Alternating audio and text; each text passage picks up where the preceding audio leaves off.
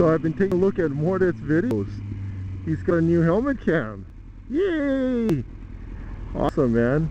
He's got this little um, fisheye camera installed on his um, installed in his helmet. I guess I guess I can. The helmet is um, the fisheye camera is mounted externally outside of his helmet um, to the right side and his microphone is on inside of his helmet. Um, the only thing I don't like about the setup is the microphone gain. It is really yucky. It sounds, it doesn't sound that crisp. It's actually actually very noisy, and um, there's truncation to the optic on the on the corners, on the upper and lower right corners, uh, left corners. Yeah, that, that's that's the only thing. Um, if the if the if the optic didn't truncate, and I wonder what that is. I'll bet you it's the O-ring that um, the O-ring seal that makes it waterproof. And to make it waterproof, you need to put that O-ring seal. So it goes be it goes between the normal lens and the adapter fisheye lens. So there's a there's a gap that causes that that or, or, or, the, or the lens was not designed for that um, focal length. I mean, uh, what's the word? Field view. The field of view focal length combo is, is something something a little messed up there.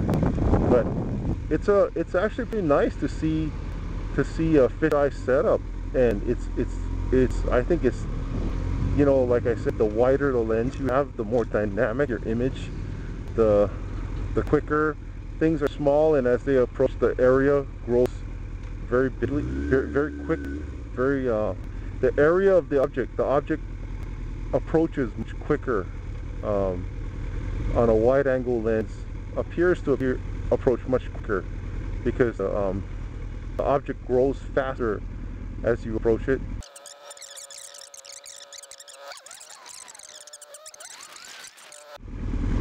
So I got this, um, I actually bought a fisheye lens for the Kodak V570 and uh, I'm trying to make an adapter to it.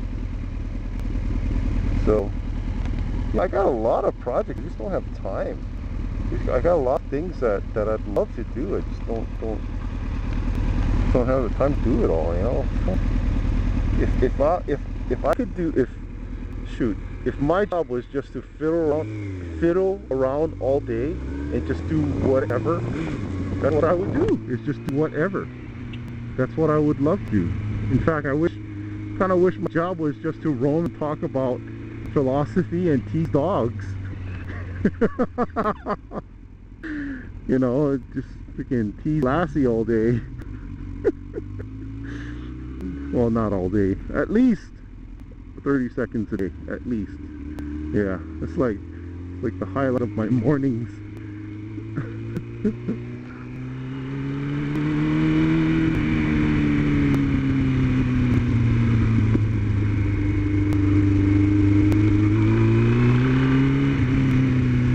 So this guy Kenny has a um, computerized um, etching machine to grind the shape of uh, camera lenses and so, I mean, not camera lenses, but what's the word?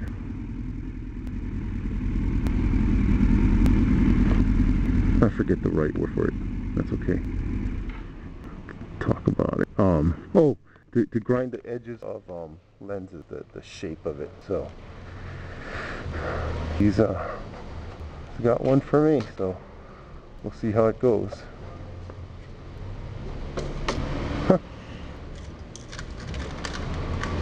This looks like a guy, yeah, that's like a, is that a Chinese one or a Chinese brand? It's got a picture of Gong Li in the back. it looks new.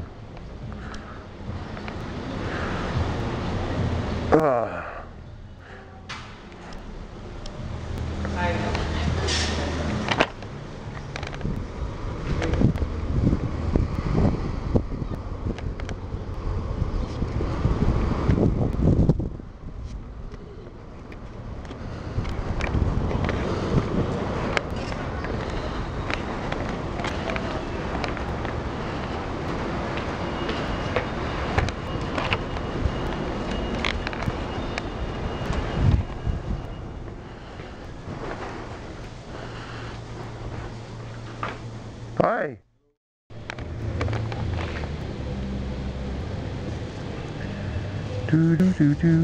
Oh, I got my glasses and it's awesome.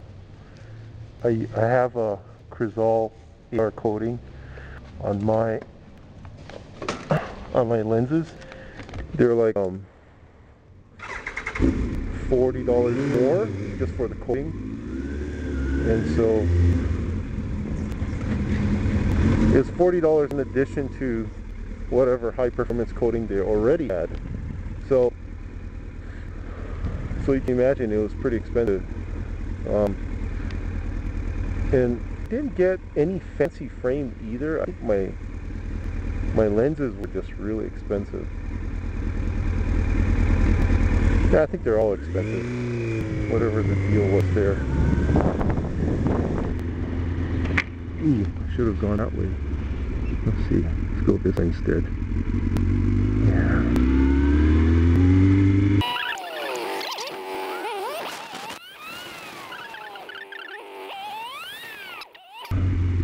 That's tough, you know, when you're traveling at lunchtime. I think you can get a lot of stuff done.